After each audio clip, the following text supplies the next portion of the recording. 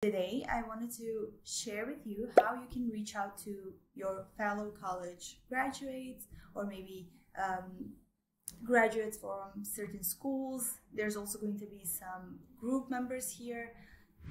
First off, you will need to upgrade the Sales Navigator, and once you do that, you get access to all of these search parameters. If we scroll all the way down, there is a search filter from school. For example, if you wanted to search someone who went to, let's say, University of Cambridge, the first one that I got here, you can simply include that as a search filter. And now you can see everyone on LinkedIn who went to Cambridge and who said Cambridge is their educational background. And it's actually giving us a lot of results. Adding different kinds of filters, you can definitely narrow this down. Let's say we only want to go with New York and maybe our second degree connections. That's definitely going to narrow it down. All right, moving on. This is not our only option. If you scroll just a little bit down, there's spotlights. Now, Sales Navigator Spotlights gives us a few different activity that you could be sharing with someone. And let's say if we choose Spotlight as have shared experience with you, this applies to going to the same school, going to the same university, of course, maybe following um, same groups, being member of same groups on LinkedIn, and having the same work experience. Maybe you were a part of the same company. And this could definitely bring you closer to your former colleagues, maybe former college fellows and you can connect with someone and have a good conversation starter based on the same college that you went.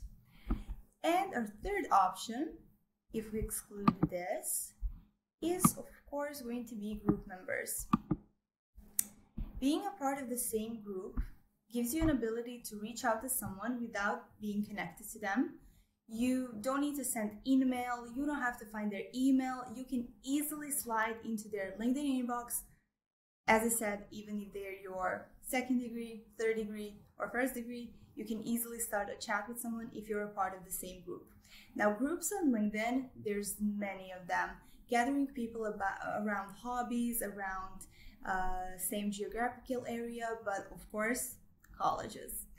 If we type university here, it's going to show us different alumni groups. So let's say University of Michigan here. And this group only is giving us more than 73k results. Now, we don't have to reach out to all of them. We don't have to start an automation on all of them, of course. We can just continue narrowing down our search. Maybe we can go with a certain industry. Let's say financial and within that industry we can go for owners. Now we have business owners who went to university of michigan and we can also work on their company filters here. Let's say they have medium sized company actually like this voila, now it's pretty much giving you better narrowed results. You can check each of their accounts. You can see if there's anything more connecting you with them. And based on that, you can definitely figure out how the conversation might go, what your approach could be. I mean, there's already something that connects the two of you if you went to the same university. So use that as your advantage.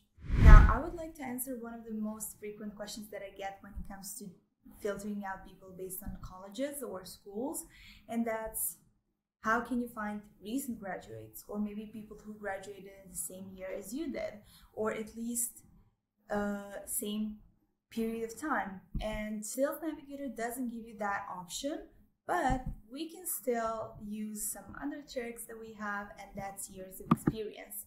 Let's say whoever graduated within past three years must have probably started working in that period of time.